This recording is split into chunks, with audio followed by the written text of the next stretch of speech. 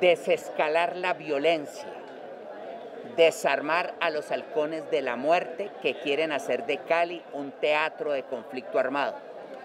constituir marchas por la dignidad y la vida, este es el llamado que hace el alcalde de Cali, Jorge Iván Ospina, la mayor ciudad afectada con disturbios, saqueos y muertes durante estas movilizaciones. El funcionario avaló las marchas pacíficas luego de que uno de sus familiares falleciera por un disparo en la cabeza en una concentración de la misma ciudad.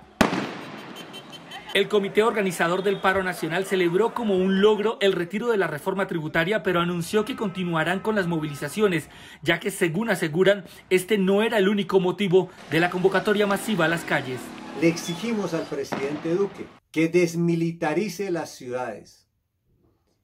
que cese la masacre contra los marchantes, que haya investigaciones y castigo a los autores materiales e intelectuales de este genocidio tras un saldo parcial con la muerte de más de 20 civiles, el ambiente político está aún más polarizado, mientras el gobierno hace ingentes llamados a la responsabilidad social, pues se siguen convocando marchas masivas durante el registro del tercer pico de la pandemia, que tiene a los sistemas hospitalarios de grandes ciudades a punto de colapsar. Llamar a un paro cuando cada día le vale 19 mil millones de pesos al país.